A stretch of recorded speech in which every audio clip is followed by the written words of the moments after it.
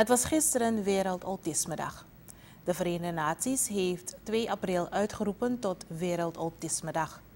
Deze dag is bedoeld om iedereen bewust te maken van wat autisme eigenlijk is.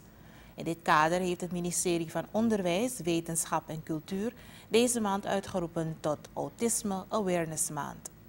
Dit gebeurde afgelopen woensdag op het ministerie, waar minister Robert Peneu een banner ontving van de vertegenwoordigers van de stichting Rotary Suriname voor Autisme.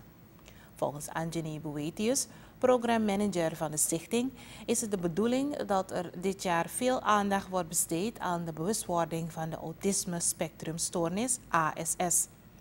Mensen met autisme verwerken alle informa informatie op een andere manier en vroege herkenning hiervan kan ervoor zorgen dat kinderen met ASS al vroeg de juiste hulp en begeleiding krijgen.